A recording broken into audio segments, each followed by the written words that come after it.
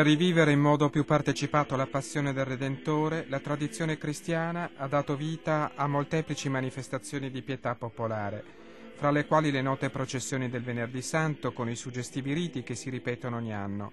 Ma c'è un più esercizio, quello della Via Crucis, che ci offre durante tutto l'anno la possibilità di imprimere sempre più profondamente nel nostro animo il mistero della croce, di andare con Cristo su questa via e così conformarci interiormente a Lui.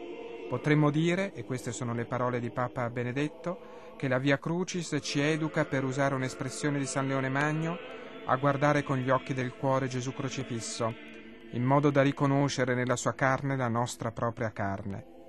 E sta proprio qui la vera saggezza del cristiano, che vogliamo imparare seguendo la Via Crucis proprio il venerdì santo al Colosseo.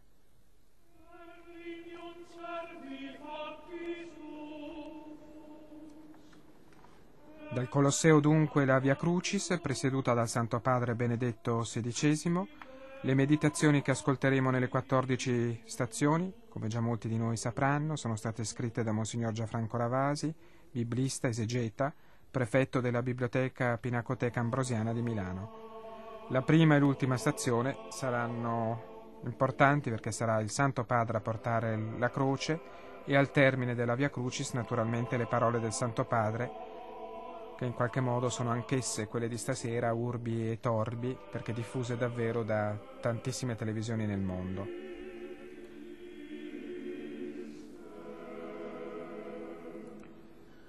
Monsignor Ravasi ha affermato che ha voluto adottare un taglio narrativo meditativo per le sue meditazioni, ha voluto per certi versi riproporre ancora il testo nelle sue sfumature, quando il testo immediatamente lo si conosce, ma forse lo si nelle, non lo si conosce nelle sue iridescenze, e quindi una dimensione meditativa contemplativa che permetta di vedere come i passi sanguinanti di Cristo ancora oggi, in un certo senso, strigano, lasciano delle scie, sulle strade del nostro mondo attuale.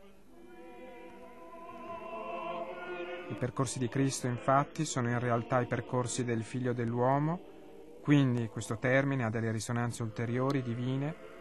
Cristo, questa sera lo scopriremo ancora una volta, è veramente nostro fratello in tutte le vie dell'umanità, nella via crucis dell'umanità, di tutte le sue sofferenze e quindi ha voluto evocare Monsignor Ravasi molte delle sofferenze dell'uomo contemporaneo.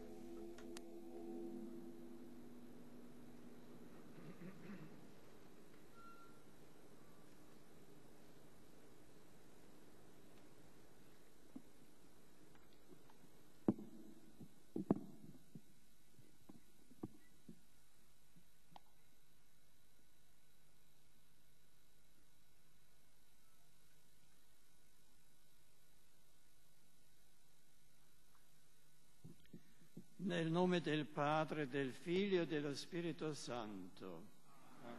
Fratelli e sorelle, è scesa l'ombra notturna su Roma, così come in quella sera sulle case, sugli orti di Gerusalemme.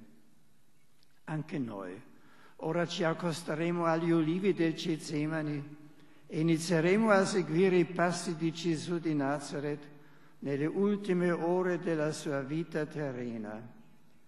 Sarà un viaggio nel dolore, nella solitudine, nella crudeltà, nel male e nella morte, ma sarà anche un percorso nella fede, nella speranza e nell'amore, perché il sepolcro dell'ultima tappa del nostro cammino non rimarrà sigillato per sempre.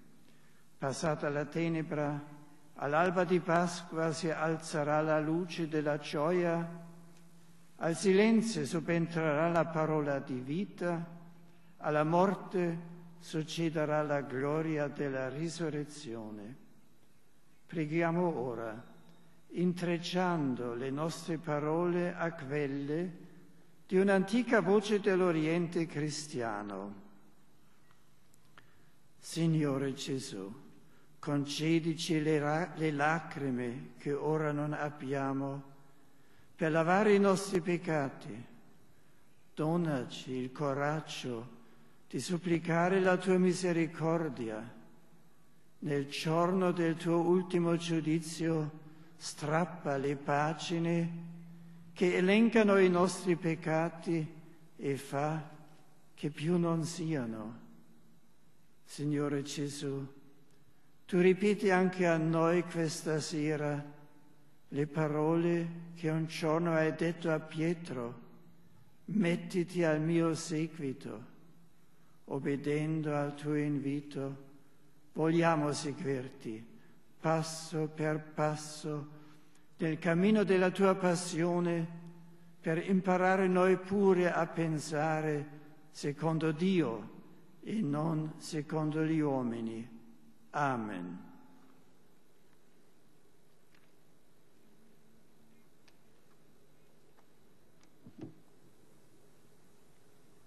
Prima stazione.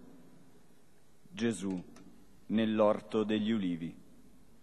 Gesù Ricordiamo che le voci sono quelle dei lettori, sono quelle di, degli attori Alessio Boni, Orazio Coclite e dell'attrice Chiara Muti. Jesús en el huerto de los olivos. Jesus no horto das oliveiras. Jezus w ogrodzie oliwnym.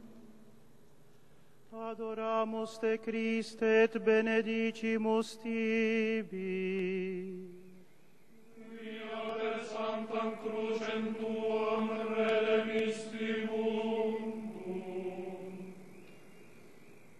Dal Vangelo secondo Luca.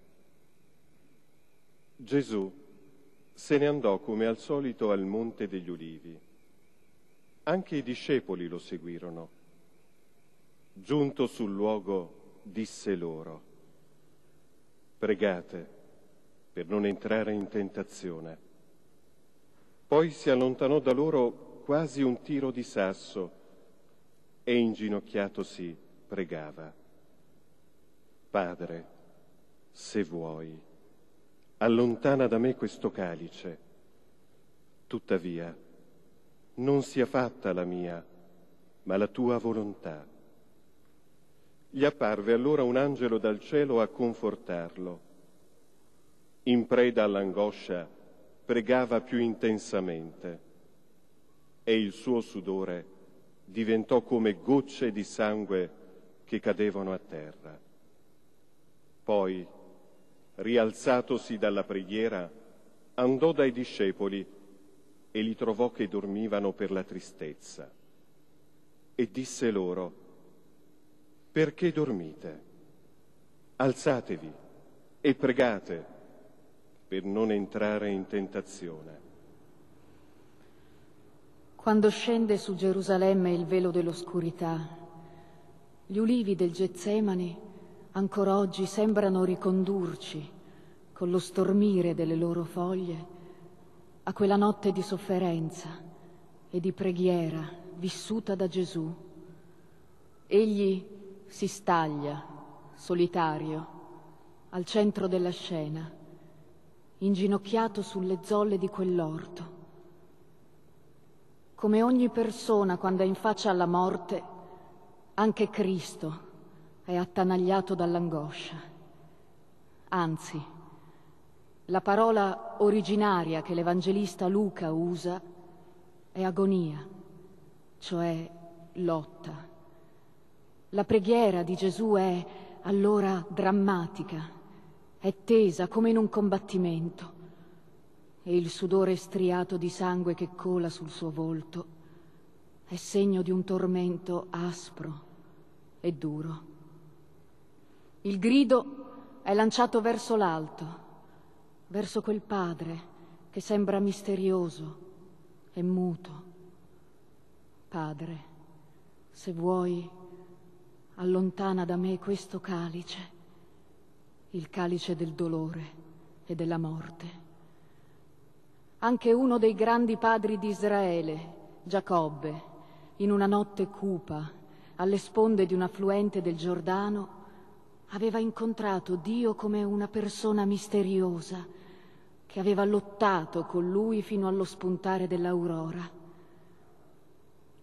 Pregare nel tempo della prova è un'esperienza che sconvolge il corpo e l'anima.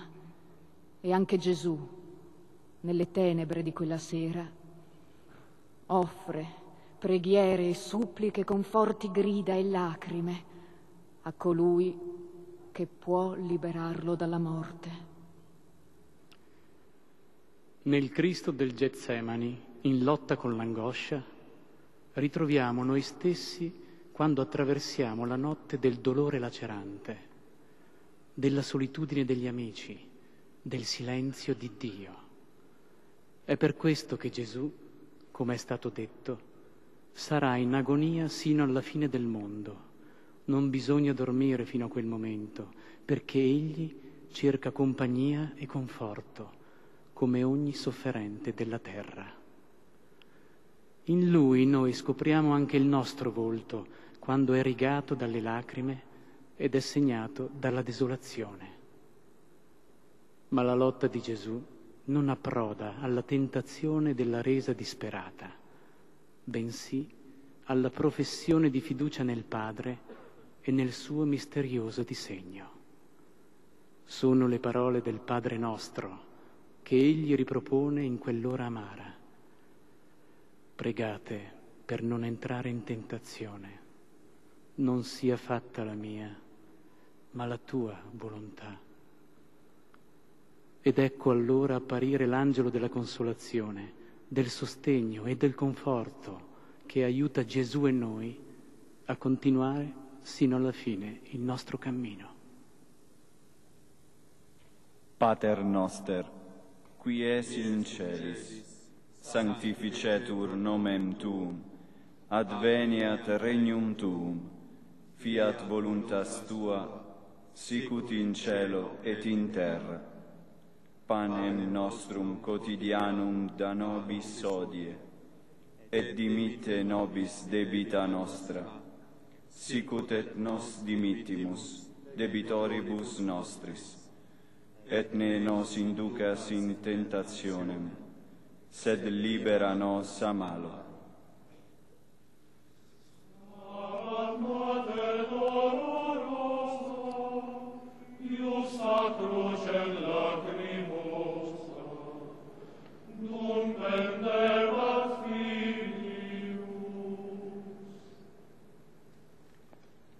Seconda stazione. Gesù, tradito da Giuda, è arrestato. Gesù, trahi par Giuda.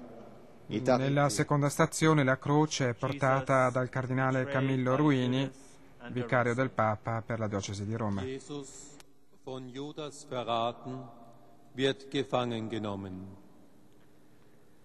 Jesús, traicionado por Judas, es arrestado. Jesus, traído por Judas, é preso.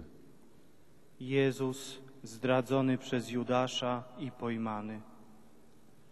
Adoramus te Christe et benedicimus tibi. Quia per sanctam crucem tuam divum. Dal Vangelo, secondo Luca. Mentre Gesù ancora parlava, ecco una turba di gente. Li precedeva colui che si chiamava Giuda, uno dei dodici, e si accostò a lui per baciarlo. Gesù gli disse, Giuda, con un bacio tradisci il figlio dell'uomo. Allora quelli che erano con lui vedendo ciò che stava per accadere, dissero, Signore, dobbiamo colpire con la spada? E uno di loro colpì il servo del sommo sacerdote e gli staccò l'orecchio destro. Ma Gesù intervenne dicendo, lasciate, basta così. E toccandogli l'orecchio, lo guarì. Poi Gesù disse a coloro che gli erano venuti contro, sommi sacerdoti, capi delle guardie del Tempio e anziani. Siete usciti con spade e bastoni come contro un brigante. Ogni giorno ero con voi nel Tempio e non avete steso le mani contro di me. Ma questa è la vostra ora, è l'impero delle tenebre. Tra gli ulivi del Getsemani, immersi nella tenebra, s'avanza ora una piccola folla. A guidarla è Giuda, uno dei dodici, un discepolo di Gesù. Nel racconto di Luca egli non pronuncia neppure una parola e solo una presenza gelida. Sembra quasi che non riesca del tutto ad accostarsi al viso di Gesù per baciarlo, fermato dall'unica voce che risuona, quella di Cristo. Giuda, con un bacio, tradisci il figlio dell'uomo. Sono parole dolenti, ma ferme che svelano il groviglio maligno che si annida nel cuore agitato e indurito del discepolo, forse illuso e deluso, e tra poco disperato. Quel tradimento e quel bacio sono diventati nei secoli il simbolo di tutte le infedeltà, di tutte le apostasie, di tutti gli inganni. Cristo dunque incontra un'altra prova, quella del tradimento, che genera abbandono e isolamento.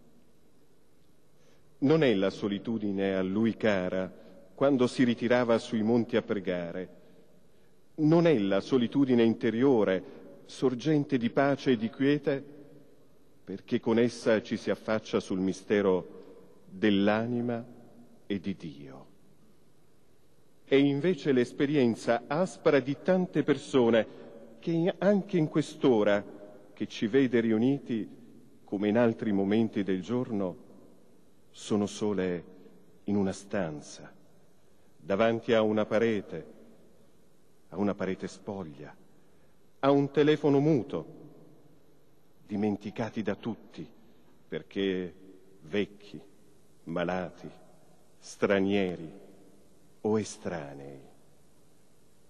Gesù beve con loro anche questo calice che contiene il veleno dell'abbandono, della solitudine, dell'ostilità. La scena del Getsemani si è quindi animata. Al precedente quadro solenne, intimo e silenzioso della preghiera, si oppone ora sotto gli ulivi il frastuono, il tumulto e persino la violenza. Gesù si erge però sempre al centro come un punto fermo. Egli è consapevole che il male avvolge la storia umana col suo sudario di prepotenza, di aggressione e di brutalità. Questa è la vostra ora, è l'impero delle tenebre. Cristo non vuole che i discepoli, pronti a metter mano alla spada, reagiscano al male col male, alla violenza con altra violenza. Egli è certo che il potere delle tenebre, apparentemente invincibile e mai sazio di trionfi, è destinato a essere piegato. Alla notte, infatti, succederà l'alba, all'oscurità, la luce al tradimento il pentimento anche per Giuda. È per questo che nonostante tutto bisogna continuare a sperare e ad amare, come lo stesso Gesù aveva insegnato sul monte delle beatitudini. Per avere un mondo nuovo e diverso è necessario amare i nostri nemici e pregare per quelli che ci perseguitano. Pater noster, qui es in celis, sanctificetur nomen tuum, adveniat regnum tuum, fiat voluntas tua, sicut in cielo et in terra.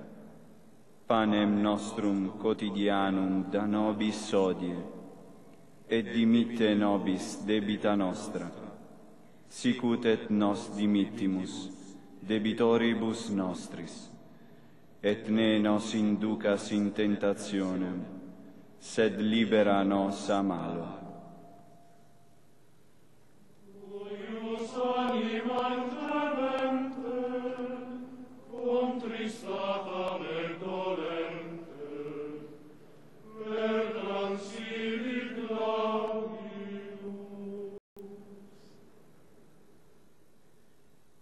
Terza stazione.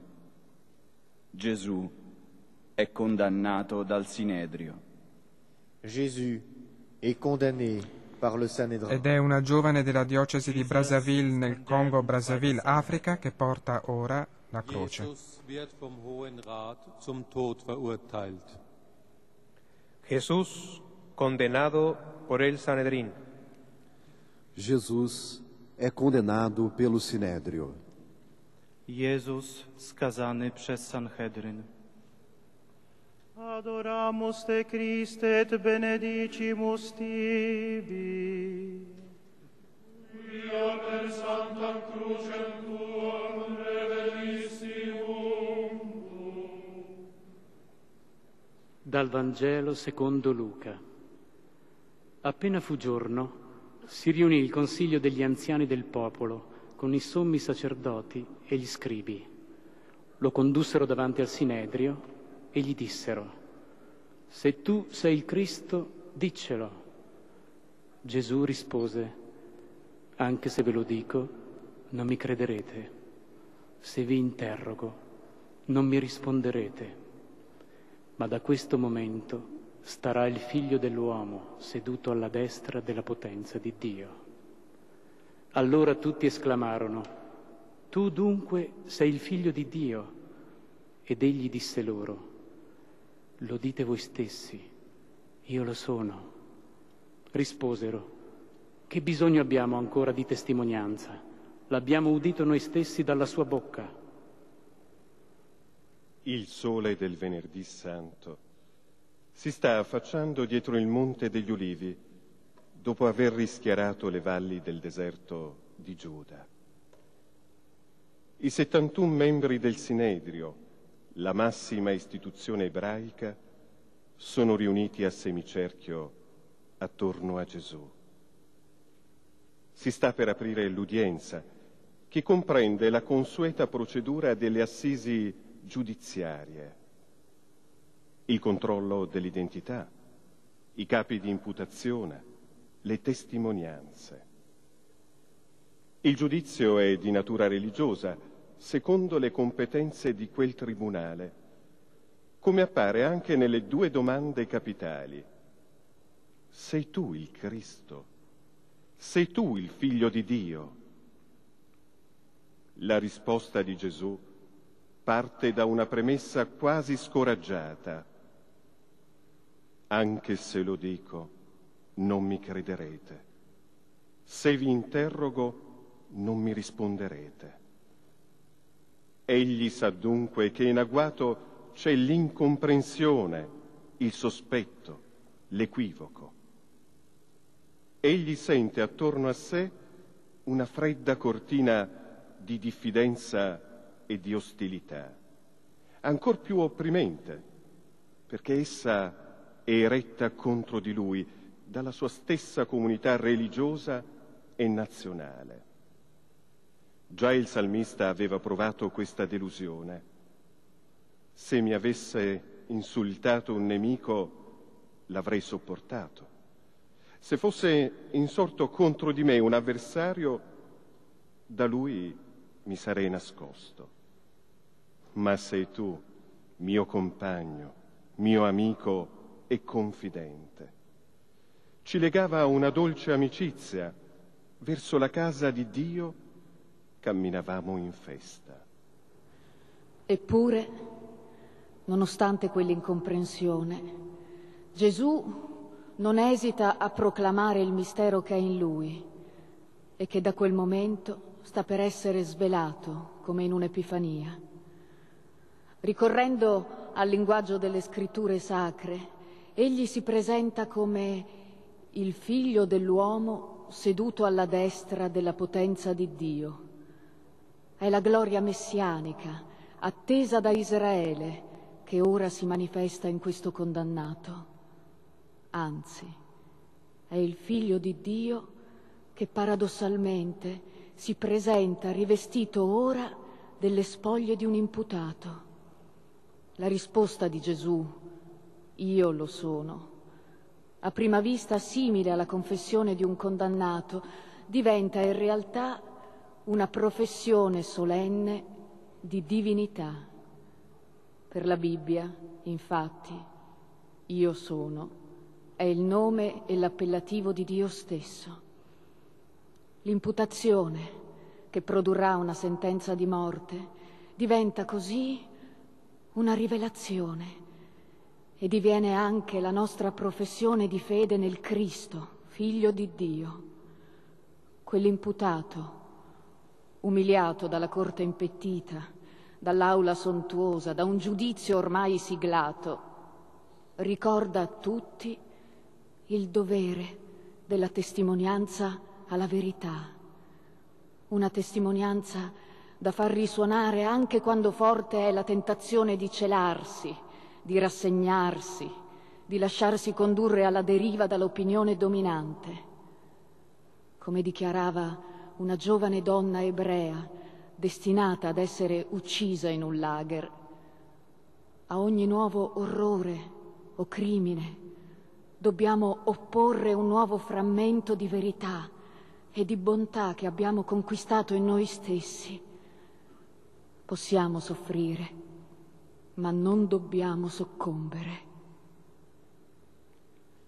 Pater noster, qui es in celis, sanctificetur nomen tuum, adveniat regnum tuum, fiat voluntas tua, sicut in cielo et in terra.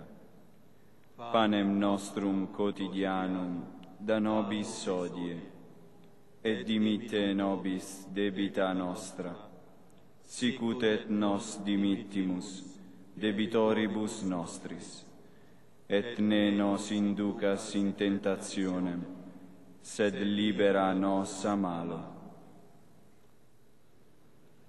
Quam tristis et afflicta, fuit illa benedicta,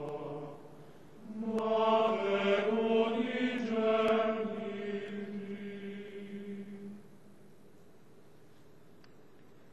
Quarta stazione.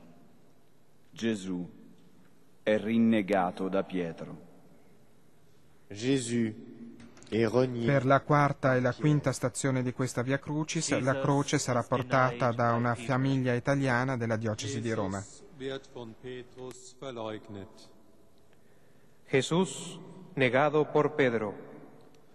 Jesus é renegado por Pedro.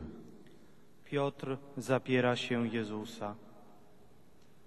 Adoramus te Christe et benedicimus tibi. Via per sanctam crucem tuam redemissimum. Dal Vangelo secondo Luca. Dopo averlo preso, condussero via Gesù e lo fecero entrare nella casa del sommo sacerdote. Pietro lo seguiva da lontano. Siccome avevano acceso un fuoco in mezzo al cortile e si erano seduti attorno, anche Pietro si sedette in mezzo a loro. Vedutolo seduto presso la fiamma, una serva, fissandolo, disse, anche questi era con lui. Ma egli negò dicendo, Donna, non lo conosco. Poco dopo un altro lo vide e disse, anche tu sei di loro.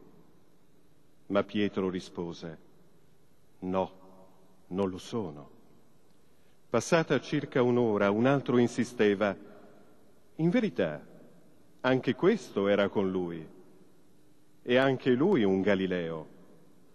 Ma Pietro disse, o uomo, non so quello che dici. E in quell'istante, mentre ancora parlava, un gallo cantò. Allora il Signore, voltatosi, guardò Pietro E Pietro si ricordò delle parole che il Signore gli aveva detto. Prima che il gallo canti, oggi mi rinnegherai tre volte. E uscito, pianse amaramente. Ritorniamo di nuovo nella notte che avevamo lasciato alle spalle, entrando nell'aula del primo processo subito da Gesù. L'oscurità e il freddo sono squarciati dalle fiamme di un braciere collocato nel cortile del palazzo del Sinedrio. Il personale di servizio e di custodia tende le mani verso quel tepore. I visi sono illuminati.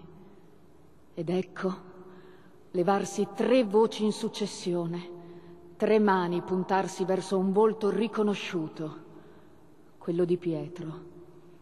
La prima è una voce femminile, è una domestica del palazzo che fissa negli occhi il discepolo ed esclama Eri anche tu con Gesù. Subentra poi una voce maschile. Sei dei loro. E ancora un uomo a ribadire più tardi la stessa accusa, notando l'accento settentrionale di Pietro. Eri con lui. A queste denunce, quasi in un crescendo disperato di autodifesa, l'Apostolo non esita per tre volte a spergiurare. Non conosco Gesù, non sono un suo discepolo, non so quello che dite. La luce di quel braciere penetra dunque ben oltre il volto di Pietro, svela un'anima meschina, la sua fragilità, l'egoismo, la paura. Eppure, poche ore prima egli aveva proclamato, anche se tutti si scandalizzeranno, io no. Se anche dovessi morire con te, non ti rinnegherò. Il sipario però non cala su questo tradimento come invece era accaduto a Giuda.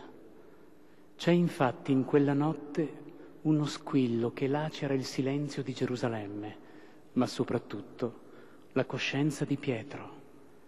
È il canto di un gallo. Proprio in quel momento Gesù sta uscendo dall'assise giudiziaria che l'ha condannato. Luca descrive l'incrocio degli sguardi tra Cristo e Pietro e lo fa usando un verbo greco che indica il fissare in profondità un viso. Ma come nota l'Evangelista, non è un uomo qualsiasi che ora guarda l'altro, è il Signore, i cui occhi scrutano cuore e reni, cioè il segreto intimo di un'anima. E dagli occhi dell'Apostolo scendono le lacrime del pentimento. Nella sua vicenda si condensano tante storie di infedeltà e di conversione, di debolezza e di liberazione. Ho pianto e ho creduto. Così, con questi due soli verbi, secoli dopo, un convertito accosterà la sua esperienza a quella di Pietro, dando voce anche a tutti noi che ogni giorno consumiamo piccoli tradimenti, proteggendoci dietro giustificazioni meschine e lasciandoci possedere da paure vili.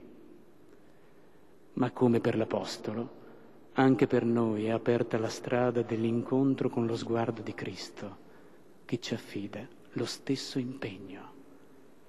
Anche tu, una volta ravveduto, conferma i tuoi fratelli.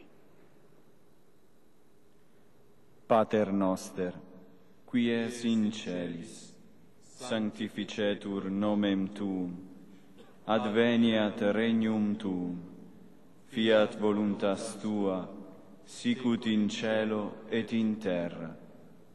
panem nostrum quotidianum da nobis hodie, et dimitte nobis debita nostra, sicut et nos dimittimus debitoribus nostris, et ne nos inducas in tentationem, sed libera nos a malo.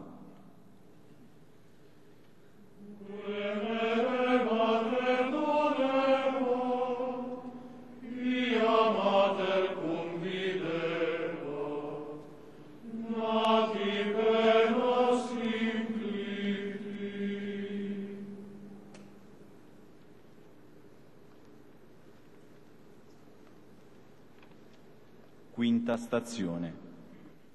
Gesù è giudicato da Pilato. Jésus est jugé par Pilate. Jesus is judged by Pilate. Jesus wird von Pilatus gerichtet. Jesús condenado por Pilato. Jesus é julgado por Pilatos. Jezus osądzony przez Piłata. Adoramus te Christe et benedicimus tibi. Via per sanctam crucem tuam redemistimus. Dal Vangelo, secondo Luca. Pilato, riuniti i sommi sacerdoti, le autorità e il popolo, disse, mi avete portato questo uomo come sobillatore del popolo. Ecco, l'ho esaminato davanti a voi, ma non ho trovato in lui nessuna colpa di quelle di cui lo accusate, e neanche Erode. Infatti ce l'ha rimandato. Ecco, egli non ha fatto nulla che meriti la morte. Perciò, dopo averlo severamente castigato, lo rilascerò. Ma essi si misero a gridare tutti insieme, a morte costui, dacci libero Barabba. Questi era stato messo in carcere per una sommossa scoppiata in città e per omicidio. Pilato parlò loro di nuovo, volendo rilasciare Gesù, ma essi urlavano, crocifiggilo, crocifiggilo. Ed egli, per la terza volta, disse loro, ma che male ha fatto costui? Non ho trovato nulla in lui che meriti la morte. Lo castigherò severamente e poi lo rilascerò. Essi però insistevano a gran voce chiedendo che venisse crocifisso e le loro grida crescevano. Pilato allora decise che la loro richiesta fosse eseguita. Rilasciò colui che era stato messo in carcere per sommossa e omicidio e che essi richiedevano e abbandonò Gesù alla loro volontà. Gesù è ora tra le insegne imperiali, i vessilli, le aquile e i labari dell'autorità romana, all'interno di un altro palazzo del potere, quello del governatore Ponzio Pilato. Un nome marginale e dimenticato nella storia dell'impero di Roma. Eppure è un nome che risuona ogni domenica in tutto il mondo, proprio a causa di quel processo che ora si sta celebrando. I cristiani, infatti, nel credo, proclamano che Cristo fu crocefisso sotto Ponzio Pilato. Da un lato egli incarna a prima vista la brutalità repressiva, Tant'è vero che Luca rievoca in una pagina del suo Vangelo quel giorno in cui non aveva esitato a mescolare nel Tempio il sangue ebreo con quello degli animali sacrificali. A lui si accosta anche un altro potere oscuro e impalpabile. È la forza feroce delle masse manipolate dalle strategie dei poteri occulti che tramano nell'ombra. Il risultato è nella scelta di graziare un ribelle omicida, Barabba. Dall'altro lato però affiora un diverso profilo di Pilato. Egli sembra rappresentare la tradizionale equità e imparzialità del diritto romano.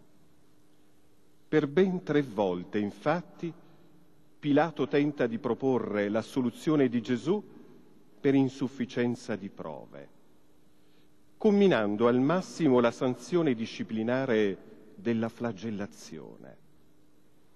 L'accusa infatti non reggeva a un serio vaglio processuale. Come ribadiscono tutti gli evangelisti, Pilato rivela quindi una certa apertura d'animo, una disponibilità che però progressivamente si scolora e si spegne. Sotto la pressione dell'opinione pubblica, Pilato incarna allora un atteggiamento che sembra dominare nei nostri giorni, quello dell'indifferenza, del disinteresse, della convenienza personale. Per quieto vivere per proprio vantaggio, non si esita a calpestare verità e giustizia. L'immoralità esplicita genera almeno un sussulto o una reazione. Questa è invece pura amoralità che paralizza la coscienza, estingue il rimorso e ottunde la mente.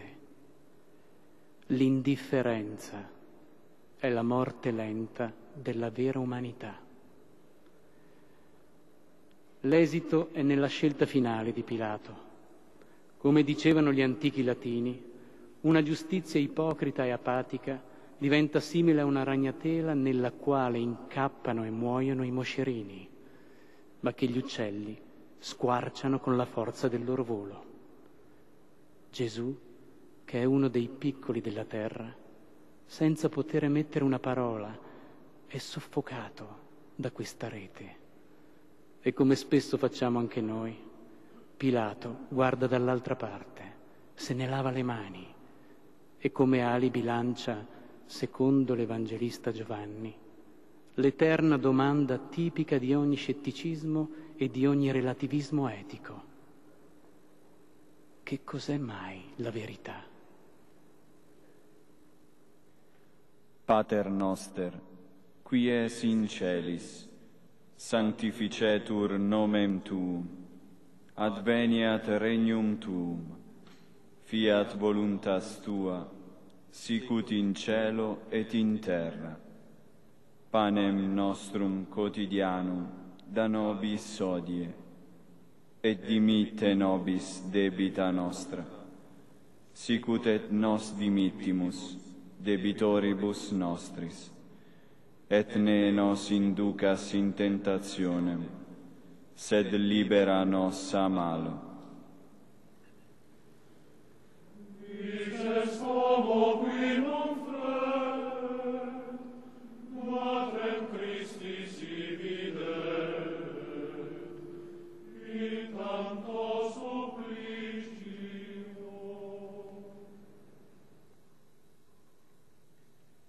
Sesta stazione. Gesù è flagellato e coronato di spine. Jésus, Viene dalla diocesi di Talca nel Cile, Sud America, America Latina, il giovane che porterà la croce nella sesta e nella settima stazione. Jesus wird gegeißelt und mit Dornen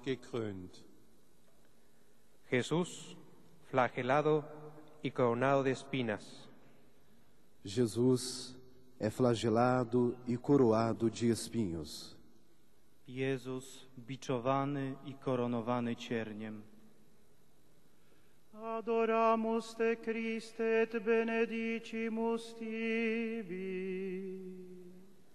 Via per sanctam crucem tuam redemisti mundo. Dal Vangelo secondo Luca. Frattanto, gli uomini che avevano in custodia Gesù lo schernivano e lo percuotevano, lo bendavano e gli dicevano, indovina chi ti ha colpito. e molti altri insulti dicevano contro di lui. Dal Vangelo secondo Giovanni. I soldati, intrecciata una corona di spine, gliela posero sul capo e gli misero addosso un mantello di porpora. Quindi gli venivano davanti e gli dicevano, Salve, re dei giudei, e gli davano schiaffi. Un giorno, mentre camminava nella valle del Giordano, non lontano da Gerico, Gesù s'era fermato e ai dodici aveva detto parole roventi e ai loro orecchi indecifrabili.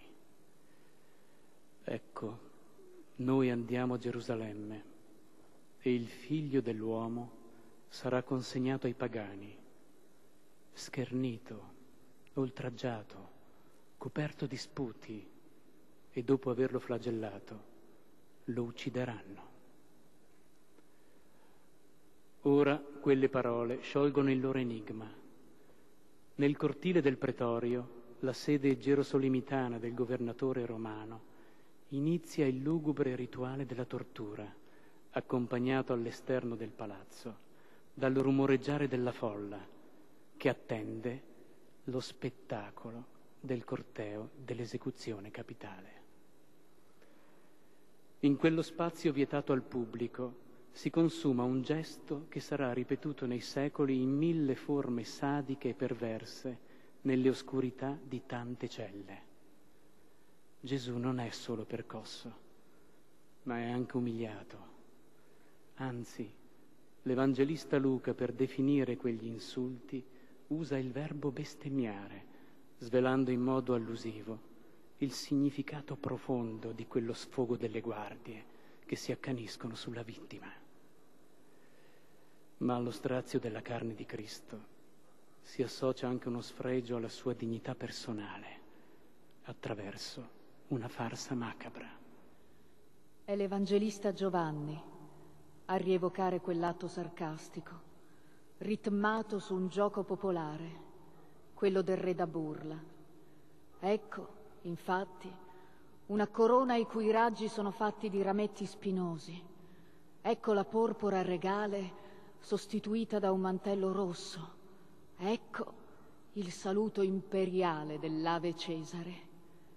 Eppure, in dissolvenza questa beffa, si può intravedere un segno glorioso. Sì, Gesù è umiliato come re da scherzo, ma in realtà egli è il vero sovrano della storia. Quando alla fine si svelerà la sua regalità, come ci ricorda un altro evangelista, Matteo, egli condannerà tutti i torturatori e gli oppressori e introdurrà nella gloria non solo le vittime, ma anche tutti coloro che avranno visitato chi era in carcere, curato i feriti e i sofferenti, sostenuto gli affamati, gli assetati, i perseguitati. Ora, però, il volto trasfigurato apparso sul Tabor è sfigurato. Colui che è l'irradiazione della gloria divina, è oscurato e umiliato.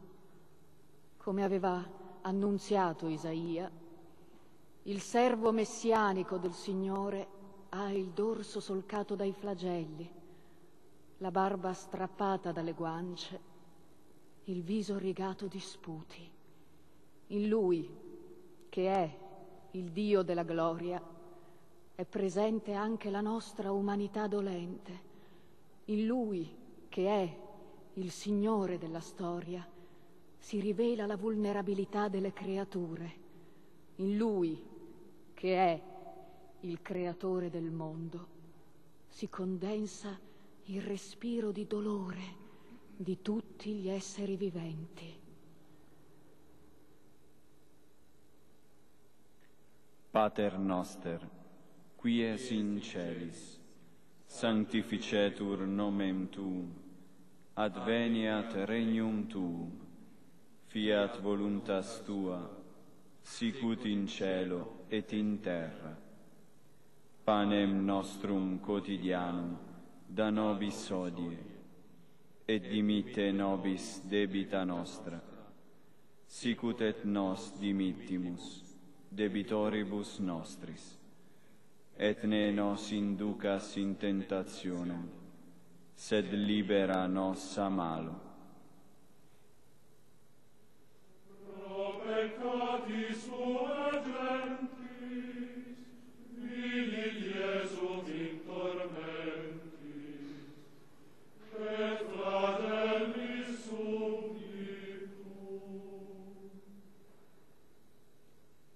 Settima stazione. Gesù è caricato della croce. Jésus est chargé de la croix. Jesus is burdened with the cross. Jesus wird das Kreuz aufgeladen. Jesús carga con la cruz. Jesus carrega a cruz. Jezus bierze krzyż na swoje ramiona. Adoramus te Christe et benedicimus tibi. Via per sanctam crucem tuam redemisti mundum. Dal Vangelo secondo Marco. Dopo averlo schernito, spogliarono Gesù della purpura e gli rimisero le sue vesti. Poi lo condussero fuori per crocifiggerlo. Nei cortili del palazzo imperiale è finita la festa macabra. Cadono le spoglie di quel ridicolo abbigliamento regale. Si spalanca il portale. Ecco, avanzare Gesù coi suoi vestiti abituali, con la sua tunica, senza cuciture, tessuta d'un pezzo da cima a fondo. Sulle sue spalle poggia la trave orizzontale, destinata ad accogliere le sue braccia quando essa sarà stata fissata sul palo della crocifissione. La sua è una presenza muta. Le sue orme sanguinano su quella strada che ancora oggi a Gerusalemme reca il nome di Via Dolorosa. Ha ora inizio, in senso stretto, la Via Crucis, quel percorso che anche stasera si ripete e che tende verso il colle delle esecuzioni capitali, fuori le mura della città santa. Gesù avanza e vacilla sotto quel peso e per la debolezza del suo corpo ferito. La tradizione ha voluto simbolicamente costellare quell'itinerario di tre cadute. In esse si ha la vicenda infinita di tante donne e uomini prostrati nella miseria o nella fame. Sono bambini gracili, vecchi sfiniti, poveri debilitati dalle cui vene è stata succhiata ogni energia. In quelle cadute c'è anche la storia di tutte le persone desolate nell'anima e infelici, ignorate dalla frenesia e dalla distrazione di chi passa accanto. In Cristo, piegato sotto la croce, c'è l'umanità malata e debole che, come affermava il profeta Isaia, prostrata parla da terra e dalla polvere salgono fioche le sue parole. Sembra di un fantasma la sua voce dalla terra e dalla polvere la sua parola risuona come un bisbiglio. Anche oggi, come allora, attorno a Gesù che si alza e avanza reggendo il legno della croce, si svolge la vita quotidiana della strada, segnata dagli affari, dalle vetrine scintillanti, dalla ricerca del piacere. Eppure attorno a lui non c'è solo ostilità o indifferenza. Sui suoi passi si muovono oggi anche coloro che hanno scelto di seguirlo. Essi hanno ascoltato l'appello che un giorno egli aveva lanciato passando tra i campi della Galilea. Se qualcuno vuol venire dietro a me, rinneghi se stesso, prenda ogni giorno la sua croce e mi segua. Usciamo allora anche noi dall'accampamento e andiamo verso di lui portando il suo obbrobrio. Al termine della via dolorosa non c'è solo il colle della morte o il baratro del sepolcro, ma anche il monte dell'ascensione gloriosa e della luce.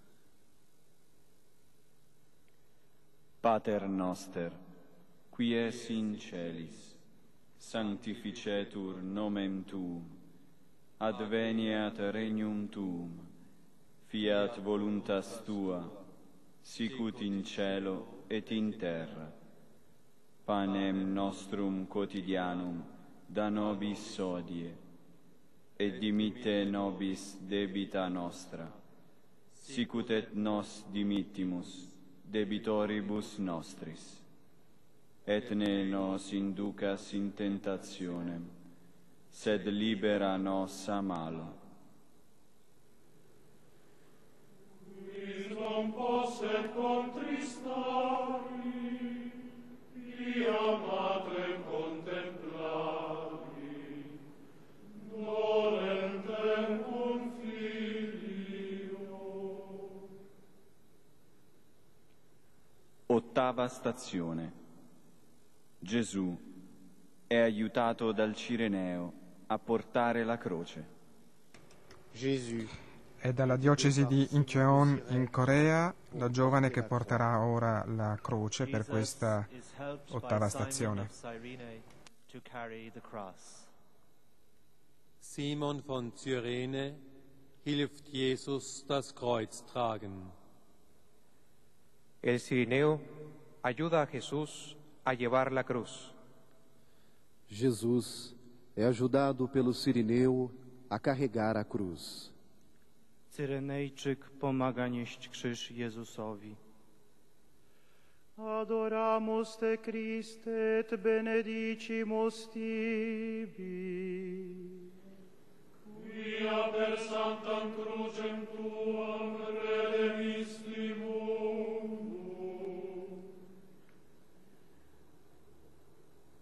Dal Vangelo, secondo Luca.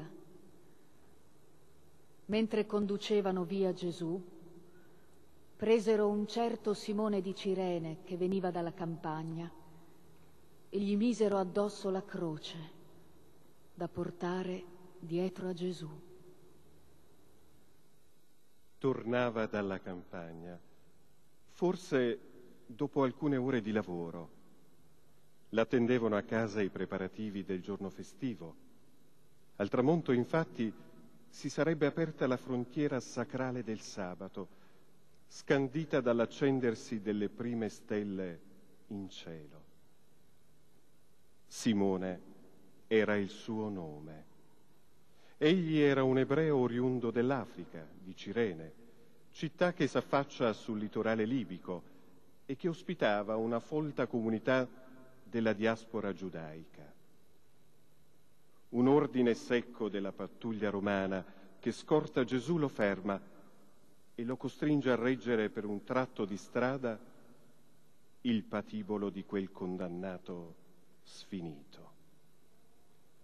Simone era passato di là per caso. Non sapeva che quell'incontro sarebbe stato straordinario. Come è stato scritto, quanti uomini nei secoli avrebbero voluto essere lì, al suo posto, essere passati di lì, giusto in quel momento. Ma ormai era troppo tardi. Era lui che era passato ed egli nei secoli non avrebbe mai ceduto il suo posto ad altri. È il mistero dell'incontro con Dio che attraversa all'improvviso tante vite. Paolo, l'Apostolo, era stato intercettato, afferrato e conquistato da Cristo sulla via di Damasco. E per questo che aveva poi ripreso da Isaia quelle sorprendenti parole di Dio. Io mi sono fatto trovare anche da quelli che non mi cercavano. Mi sono manifestato anche a quelli che non si rivolgevano a me.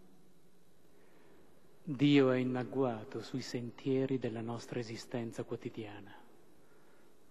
È Lui che talora bussa alle nostre porte, chiedendo un posto alle nostre mense per cenare con noi.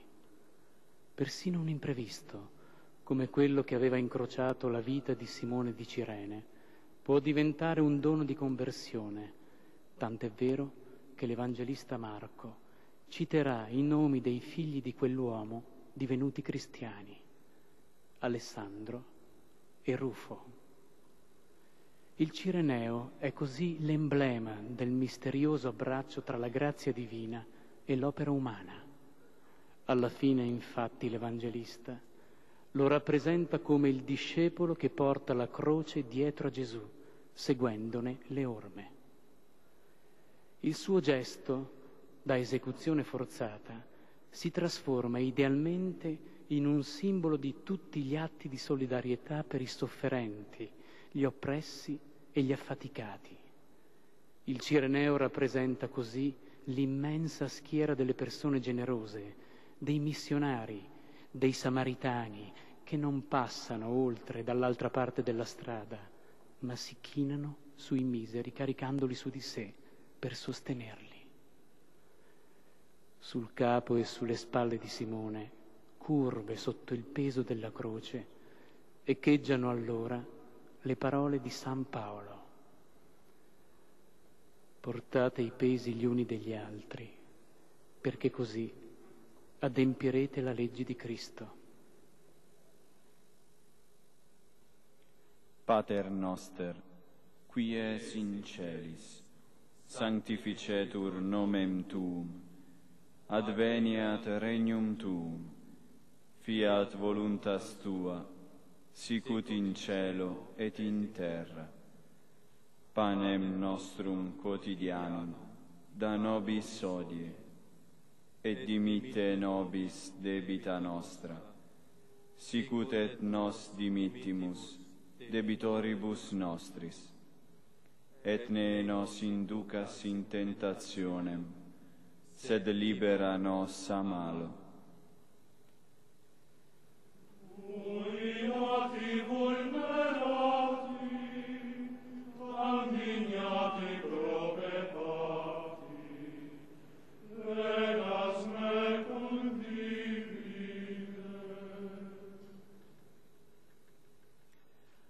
Nona stazione.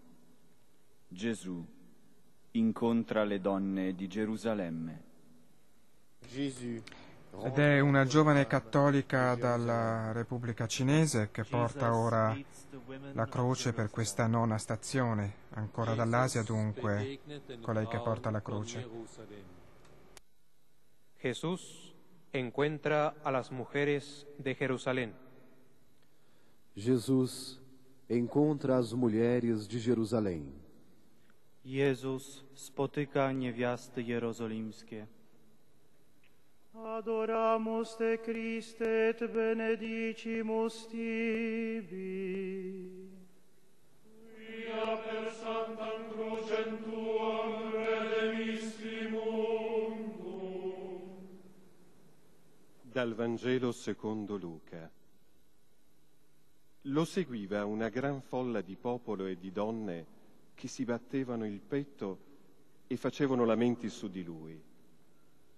Ma Gesù, voltandosi verso le donne, disse, Figlie di Gerusalemme, non piangete su di me, ma piangete su voi stesse e sui vostri figli.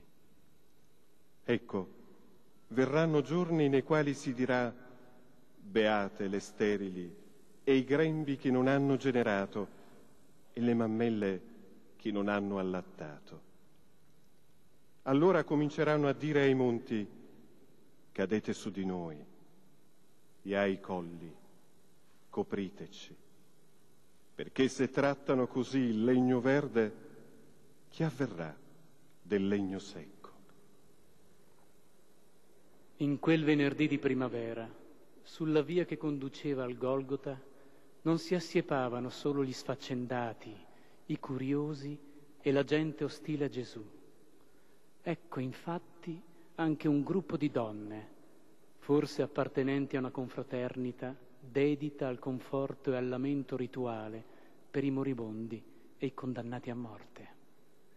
Cristo, durante la sua vita terrena, superando convenzioni e pregiudizi, si era spesso circondato di donne e aveva dialogato con loro, ascoltando i loro drammi, piccoli e grandi, dalla febbre della suocera di Pietro alla tragedia della vedova di Nain, dalla prostituta in lacrime al tormento interiore di Maria di Magdala, dall'affetto di Marta e Maria alle sofferenze della donna colpita da un'emorragia, dalla giovane figlia di Gairo all'anziana curva, dalla nobildonna Giovanna di Cusa alla vedova indigente e alle figure femminili della folla che lo seguiva.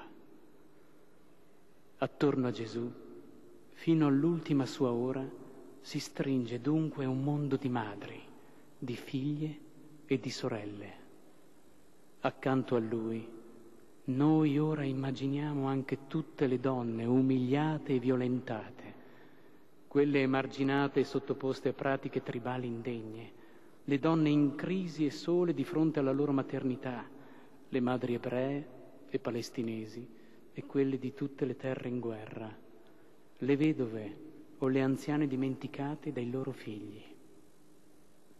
È una lunga teoria di donne che testimoniano a un mondo arido e impietoso il dono della tenerezza e della commozione, come fecero per il figlio di Maria in quella tarda mattinata gerosolimitana. Esse ci insegnano la bellezza dei sentimenti. Non ci si deve vergognare se il cuore accelera i battiti nella compassione, se talora affiorano sulle ciglia le lacrime, se si sente il bisogno di una carezza e di una consolazione. Gesù non ignora le attenzioni caritatevoli di quelle donne, come un tempo aveva accolto altri gesti delicati, ma paradossalmente ora è Lui a interessarsi delle sofferenze che incombono su quelle figlie di Gerusalemme. Non piangete su di me, ma su voi stesse e sui vostri figli. C'è infatti all'orizzonte un incendio che sta per abbattersi sul popolo e sulla città santa, un legno secco, pronto ad attizzare il fuoco. Lo sguardo di Gesù corre verso il futuro giudizio divino sul male, sull'ingiustizia, sull'odio che stanno alimentando quella fiamma. Cristo si commuove per il dolore che sta piombando su quelle madri quando irromperà nella storia l'intervento giusto di Dio. Ma le sue parole frementi non suggellano un esito disperato, perché la sua è la voce dei profeti, una voce che genera non agonia e morte, ma conversione e vita. Cercate il Signore e vivrete. Allora si allieterà la Vergine alla danza, giovani e vecchi gioiranno insieme. Io cambierò il loro lutto in gioia, li consolerò e li renderò felici. Pater noster, qui es in celis, sanctificetur nomen tuum, adveniat regnum tuum, fiat voluntas tua, sicut in cielo et in terra. panem nostrum quotidianum, da nobis hodie, et dimitte nobis debita nostra, sicut et nos dimittimus debitoribus nostris, et ne nos inducas in tentationem, sed libera nos a malo. Eia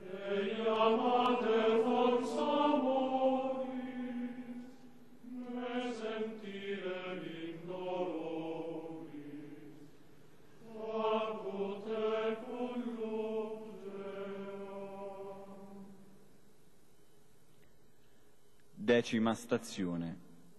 Gesù è crocifisso. Crucifié.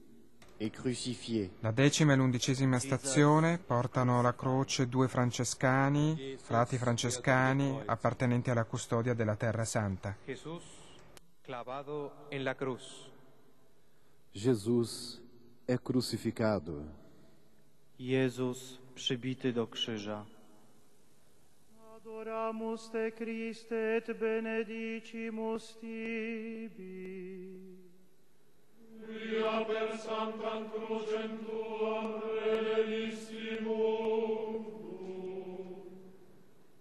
Dal Vangelo secondo Luca. Quando giunsero al luogo detto cranio, là crocifissero lui e i due malfattori, uno a destra e l'altro a sinistra. Gesù diceva, Padre, perdonali, perché non sanno quello che fanno. Dopo essersi poi divise le sue vesti, le tirarono a sorte.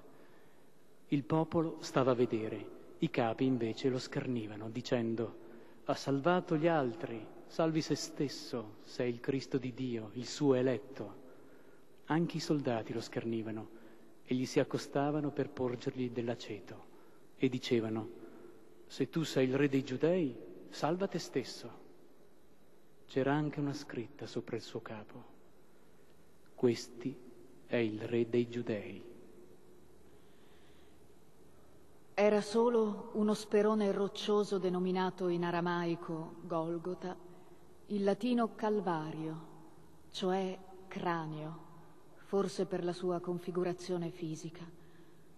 Su quel picco si levano tre croci di condannati a morte, due malfattori, probabilmente rivoluzionari antiromani, e Gesù.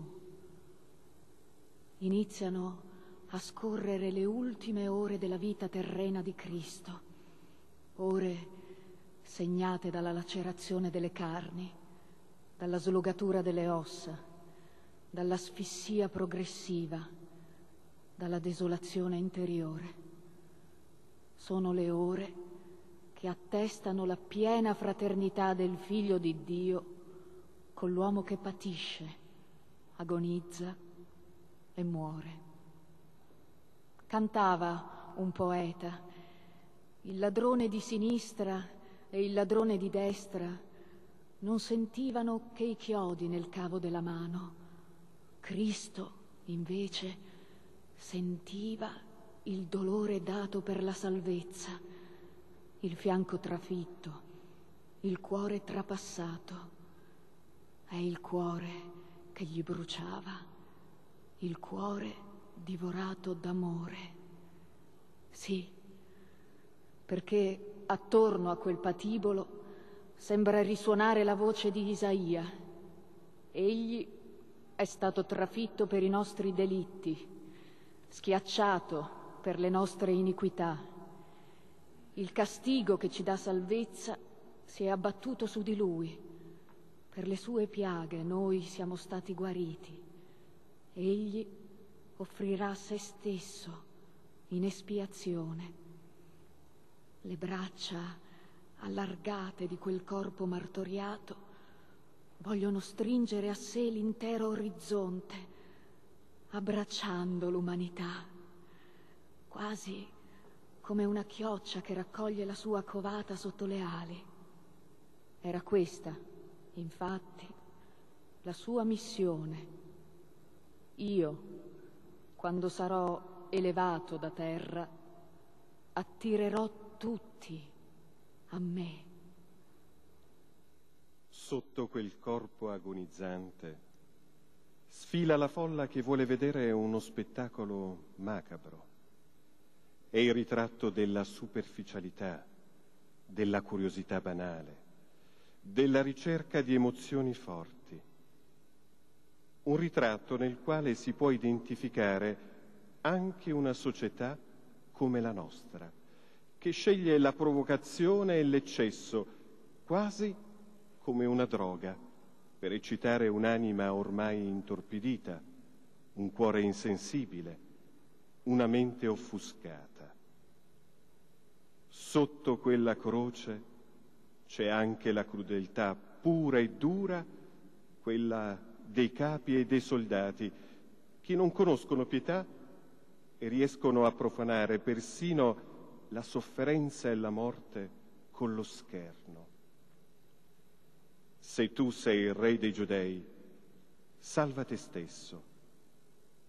Essi non sanno che proprio le loro parole, parole sarcastiche, e la scritta ufficiale retta sulla croce, questi è il re dei giudei, dicono una verità. Certo, Gesù non scende dalla croce con un colpo di scena. Egli non vuole adesioni servili e fondate sul prodigioso, ma una fede libera, un amore autentico. Eppure, proprio attraverso la sconfitta della sua umiliazione e l'impotenza della morte, egli apre la porta della gloria e della vita, rivelandosi il vero Signore e Re della storia e del mondo.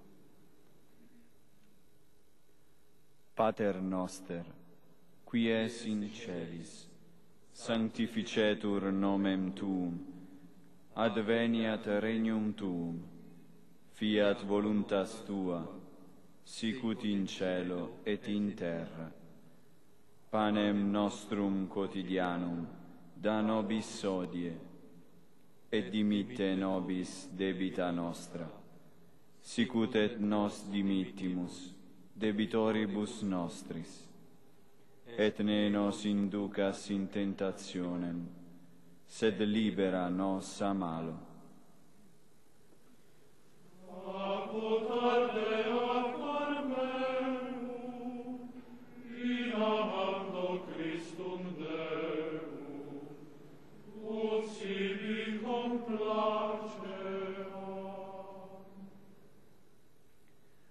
Undicesima stazione. Gesù promette il suo regno al buon ladrone. Jésus promet son royaume au bon larron. Jesus promises his kingdom to the good thief. Jesus verheißt dem guten Schächer sein Reich. Jesús promete su reino al buen ladrón. Jesus promete o seu reino ao bom ladrão. Jezus obiecuje królestwo dobremu łotrowi. Adoramus te Christe et benedicimus tibi. Via per sanctam crucem tuam redemisti mundum. Dal Vangelo, secondo Luca. Uno dei malfattori, appesi alla croce, lo insultava. Non sei tu il Cristo? Salva te stesso e anche noi. Ma l'altro lo rimproverava. Neanche tu hai timore di Dio e sei dannato alla stessa pena. Noi, giustamente, perché riceviamo il giusto per le nostre azioni. Egli, invece, non ha fatto nulla di male. E aggiunse, Gesù, ricordati di me quando entrerai nel tuo regno. Gli rispose, in verità ti dico, oggi sarai con me nel paradiso. Scorrono i minuti dell'agonia e l'energia vitale di Gesù crocifisso si sta lentamente attenuando. Eppure egli ha ancora la forza per un ultimo atto d'amore nei confronti di uno dei due condannati alla pena capitale che gli stanno accanto in quegli istanti tragici, mentre il sole è ancora alto in cielo. Tra Cristo e quell'uomo scorre un esile dialogo, affidato a due frasi essenziali. Da un lato c'è l'appello del malfattore, divenuto nella tradizione il buon ladrone, il convertito nell'ora estrema della sua vita. Gesù, ricordati di me quando entrerai nel tuo regno. In un certo senso è come se quell'uomo recitasse una personale versione del Padre nostro e dell'invocazione Venga il tuo regno. Egli però le indirizza direttamente a Gesù chiamandolo per nome, un nome dal significato illuminante in quell'istante. Il Signore salva. C'è poi quell'imperativo, ricordati di me. Nel linguaggio della Bibbia questo verbo ha una forza particolare che non corrisponde al nostro pallido ricordo.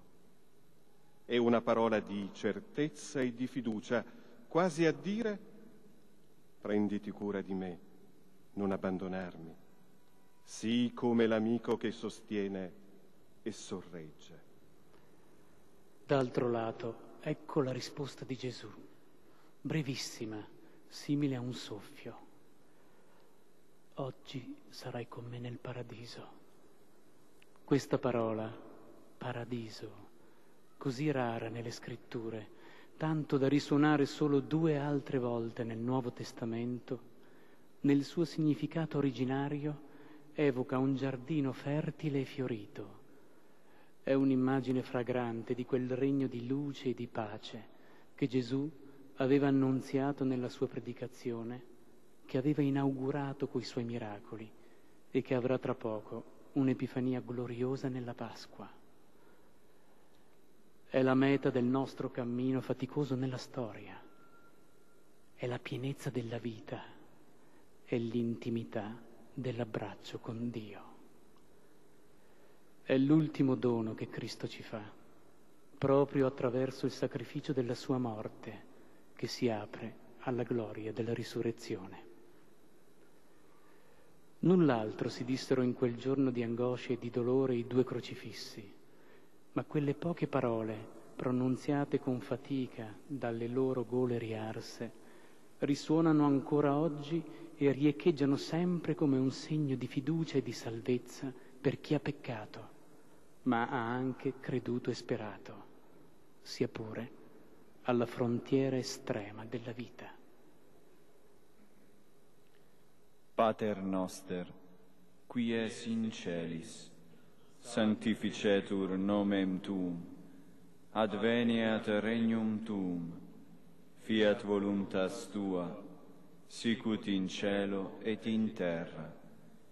Panem nostrum quotidianum da nobis odie, et dimite nobis debita nostra, sicut et nos dimittimus debitoribus nostris, et ne nos inducas in tentationem, sed libera nos a mala. Sancta Mater istuda,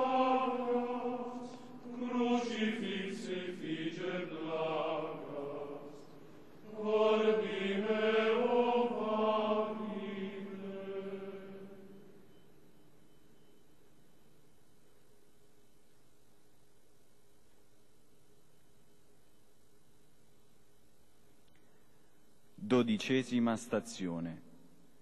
Gesù in croce, la madre e il discepolo. Jésus Per le ultime due stazioni, prima che il Santo Padre nella quattordicesima prenda la croce, dodicesima e tredicesima dunque è una giovane dell'arcidiocesi di Luanda in Angola che la porterà. Jesus am Kreuz, die Mutter und der Jünger. Jesús en la cruz, la madre y el discípulo. Jesus na cruz, a mãe e o discípulo. Jezus na krzyżu, matka i uczeń. Adoramus te Christe et benedicimus tibi. Quia per sanctam crucem tuam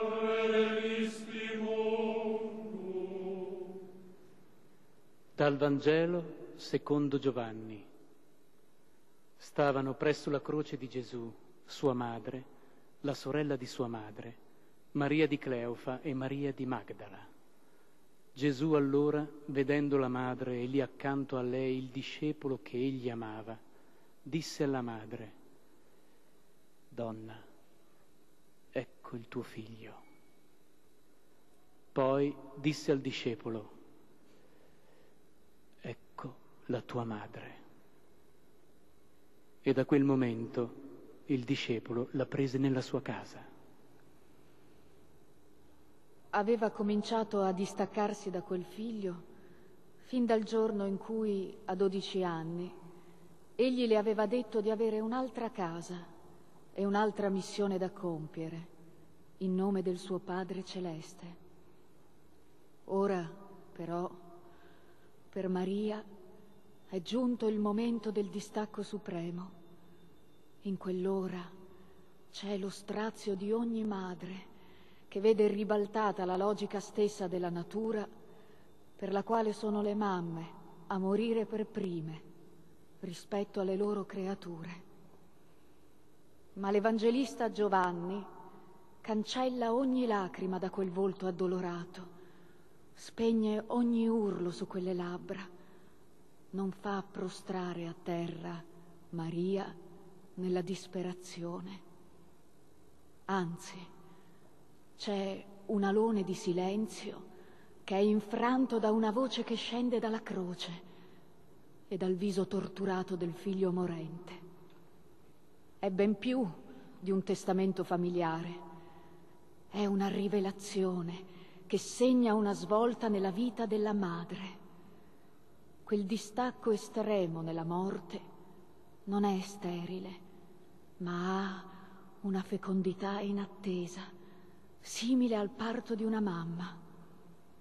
Proprio come aveva annunziato lo stesso Gesù poche ore prima, nell'ultima sera della sua esistenza terrena.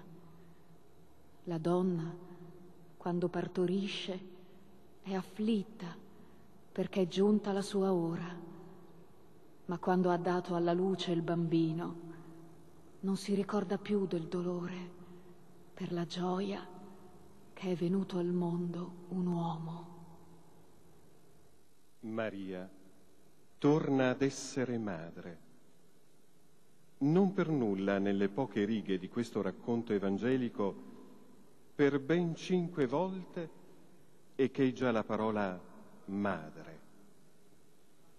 Maria torna dunque ad essere madre e i suoi figli saranno tutti coloro che sono come il discepolo amato, cioè tutti coloro che si pongono sotto il manto della grazia salvatrice divina e che seguono Cristo nella fede e nell'amore. Da quell'istante Maria non sarà più sola, diverrà la madre della Chiesa, un popolo immenso di ogni lingua, popolo e stirpe, che nei secoli si stringerà con lei attorno alla croce di Cristo, il suo primogenito. Da quel momento anche noi camminiamo con lei sulle strade della fede. Ci troviamo con lei nella casa dove soffia lo spirito della Pentecoste. Ci sediamo alla mensa dove si spezza il pane dell'Eucaristia e attendiamo il giorno in cui il suo figlio tornerà per condurci come lei nell'eternità della sua gloria. Pater noster, qui es in celis, sanctificetur nomen tuum, adveniat regnum tuum, fiat voluntas tua, sicut in cielo et in terra. Panem nostrum quotidianum, da nobis hodie, et dimitte nobis debita nostra, sicut et nos dimittimus debitoribus nostris, et ne nos inducas in tentationem, sed libera nos a malo.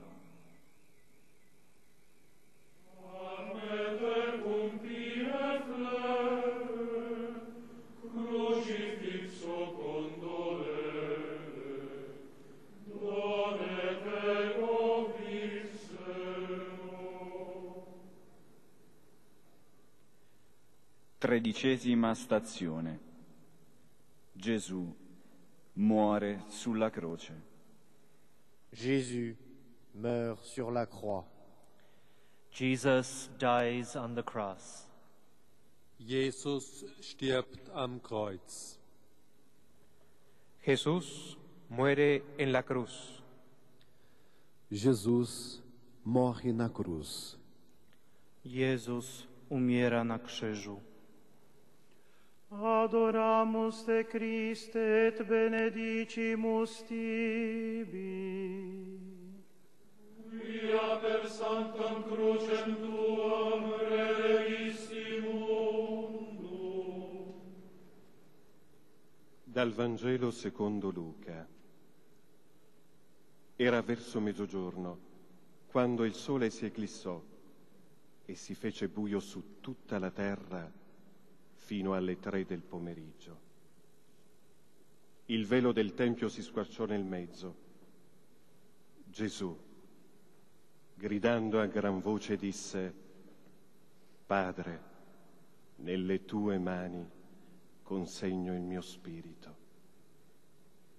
Detto questo, spirò. Visto ciò che era accaduto, il centurione glorificava Dio veramente quest'uomo era giusto. All'inizio del nostro itinerario era il velo della notte ad avvolgere il Getsemani. Ora è il buio di un'eclisse a stendersi come un sudario sul Golgota. L'impero delle tenebre sembra dunque sovrastare la terra ove Dio muore. Sì, il figlio di Dio, per essere veramente uomo e nostro fratello, deve bere anche il calice della morte, quella morte che è la reale carta d'identità di tutti i figli di Adamo. È così che Cristo si rende in tutto simile ai fratelli, diventa pienamente uno di noi, presente con noi anche in quell'estrema agonia tra vita e morte. Un'agonia che si ripete forse anche in questi minuti per un uomo o una donna qui a Roma e in tante altre città e villaggi del mondo. Non è più il Dio greco-romano, impassibile e remoto, come un imperatore relegato nei cieli dorati del suo Olimpo.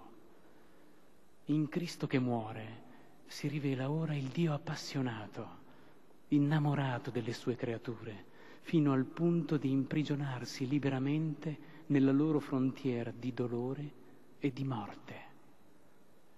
È per questo che il crocifisso è un segno umano universale della solitudine, della morte e anche dell'ingiustizia e del male, ma è anche un segno divino universale di speranza per le attese di ogni centurione cioè di ogni persona inquieta e in ricerca. Infatti, anche quando è lassù, morente su quella forca, mentre il suo respiro si spegne, Gesù non cessa di essere il figlio di Dio. In quel momento tutte le sofferenze e le morti sono attraversate e possedute dalla divinità, sono irradiate di eternità. In esse è deposto un seme di vita immortale.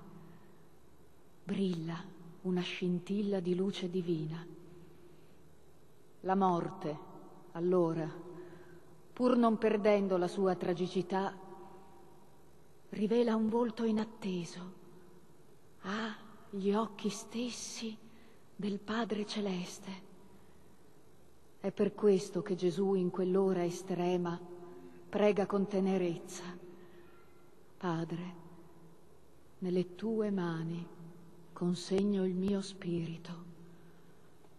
A quell'invocazione ci associamo anche noi attraverso la voce poetica e orante di una donna scrittrice. Padre, anche a me le tue dita chiudano le palpebre. Tu che mi sei padre, volgiti a me anche come tenera madre al capezzale del suo bimbo che sogna. Padre, volgiti a me e accoglimi nelle tue braccia. Pater noster, qui es in celis, sanctificetur nomen tuum, adveniat regnum tuum, fiat voluntas tua, sicut in cielo et in terra. Panem nostrum quotidianum da nobis odie, et dimitte nobis debita nostra, sicut et nos dimittimus debitoribus nostris, et ne nos inducas in tentationem, sed libera nos a malo.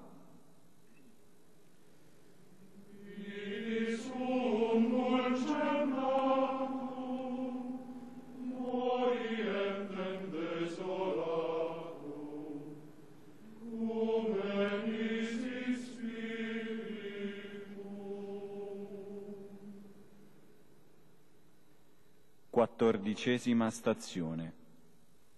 Gesù è deposto nel sepolcro.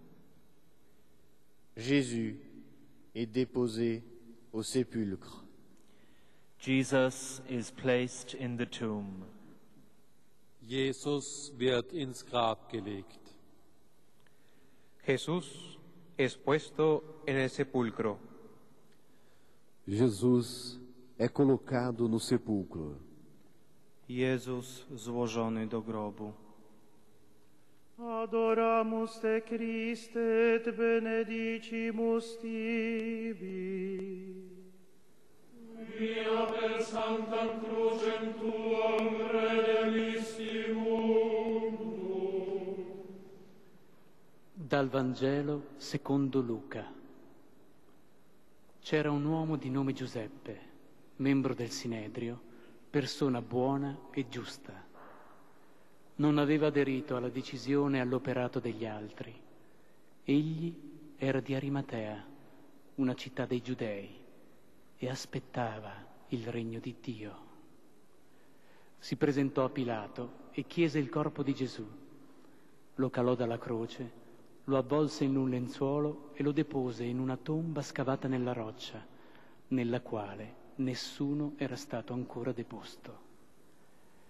Era il giorno della Parasceve e già splendevano le luci del sabato. Avvolto nel lenzuolo funerario, la sindone, il corpo crocifisso e martoriato di Gesù scivola lentamente dalle mani pietose e amorose di Giuseppe d'Arimatea nel sepolcro scavato nella roccia. Nelle ore di silenzio che seguiranno, Cristo sarà veramente come tutti gli uomini che entrano nel grembo oscuro della morte, della rigidità cadaverica, della fine. Eppure c'è già in quel crepuscolo del venerdì santo un fremito. L'Evangelista Luca nota che splendevano ormai le luci del sabato dalle finestre delle case di Gerusalemme la veglia degli ebrei nelle loro abitazioni diventa quasi il simbolo dell'attesa di quelle donne e di quel discepolo segreto di Gesù, Giuseppe d'Arimatea, e degli altri discepoli. Un'attesa che ora pervade con una tonalità nuova ogni cuore credente quando si trova davanti a un sepolcro o anche quando sente ramificarsi dentro di sé la mano fredda della malattia o della morte. È l'attesa di un'alba diversa, quella che tra non molte ore, trascorso il sabato, apparirà davanti ai nostri occhi di discepoli di Cristo. In quella aurora, sulla strada delle tombe, ci verrà incontro l'angelo e ci dirà, perché cercate tra i morti colui che è vivo? Non è qui, è risuscitato. E sulla strada del ritorno alle nostre case sarà allora il risorto ad accostarsi al nostro fianco, camminando con noi, varcando le nostre soglie, per essere ospitato alla nostra mensa e spezzare il pane con noi. Pregheremo allora anche noi con le parole di fede di un passo della più mirabile passione secondo Matteo, messe in musica e in canto da uno dei più grandi musicisti dell'umanità. Anche se il mio cuore è immerso nelle lacrime perché Gesù prende congedo da me, il suo testamento mi dà gioia. Egli lascia nelle mie mani un tesoro senza prezzo, la sua carne e il suo sangue. Voglio donarti il mio cuore perché tu vi discenda, mio Salvatore. Voglio sprofondarmi in te. Se il mondo è per te troppo piccolo, allora tu solo devi essere per me più del mondo e più del cielo. Pater noster, qui es in celis, sanctificetur nomen tuum, adveniat regnum tuum, fiat voluntas tua, sicut in cielo et in terra. Panem nostrum quotidianum da nobis odie, et dimitte nobis debita nostra, sicut et nos dimittimus debitoribus nostris, et ne nos inducas in tentationem, sed libera nos a malo.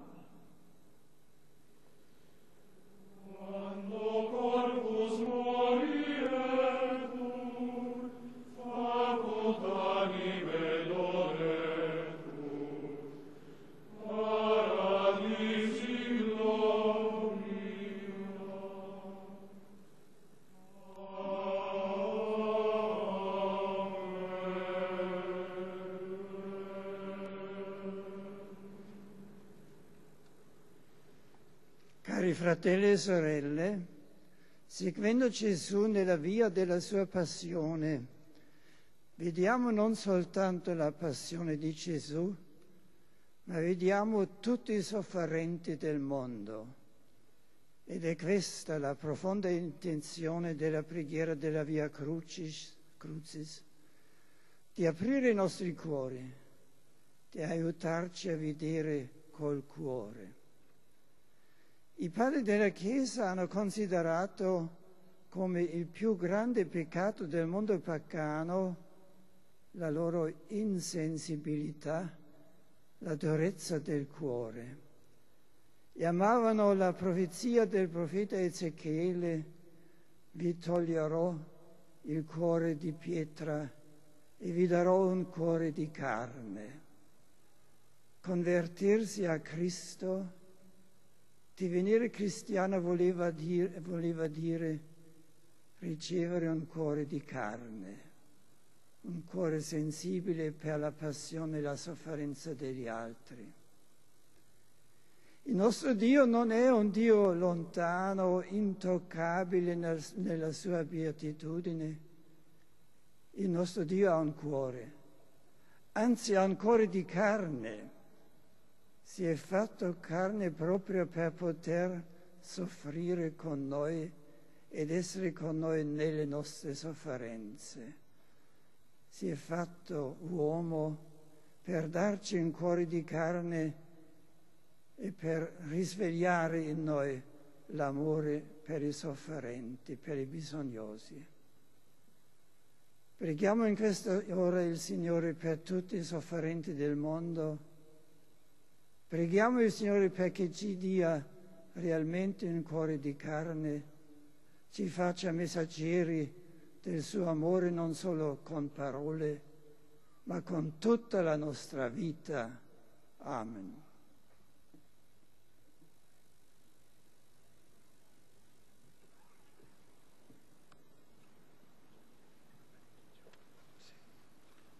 Dominus vobiscum. Spirito tuo. Sit nomen Domini benedictum. Et omnibus in seculum. Adiutorium nostrum in nomine Domini. Viceci celum et terra. Benedicat vos omnipotens Deus, Pater et Filius et Spiritus Sanctus.